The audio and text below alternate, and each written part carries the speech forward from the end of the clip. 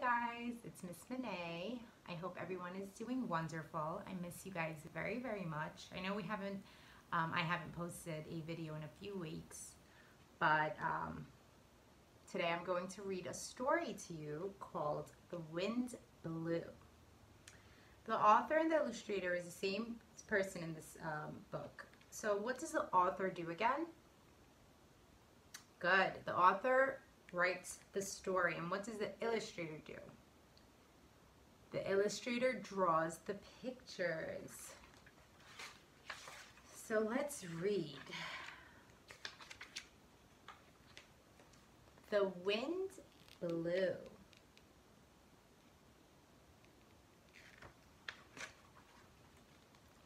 It took the umbrella from Mr. White and quickly turned it inside out. Did that ever happen to you when you were holding an umbrella and the wind came and your umbrella went inside out? Then you have to fix it again.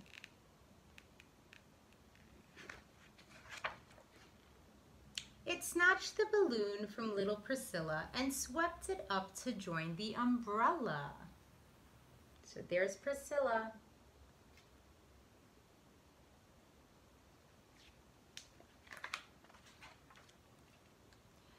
Not content, it took a hat, and still not satisfied with that.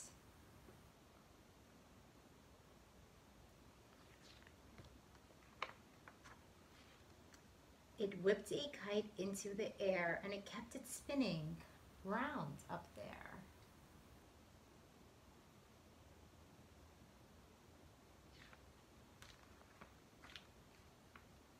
It grabbed a shirt left out to dry and tossed it upward into the sky.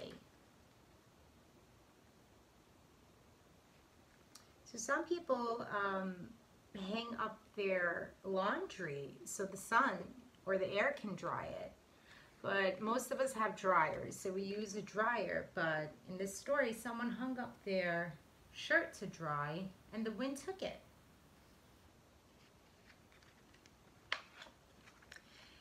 It plucked a hanky from a nose, and up and up and up it rose. That is the hanky, and that is what people use to wipe their nose. We use tissues most of the time.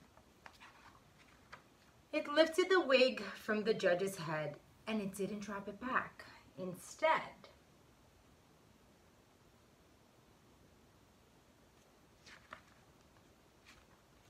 It whirled the postman's letters up as if it had not done enough.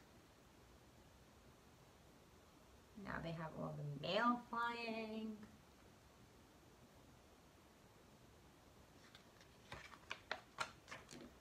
It blew so hard it quickly stole a striped flag fluttering on a pole.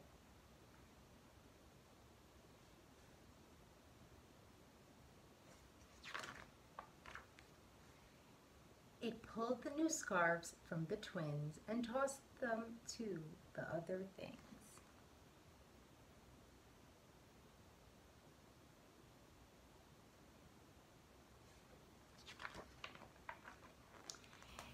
It sent the newspapers fluttering round, then tired of the things it found. What did it find? What do you think it found? It mixed them up and threw them down.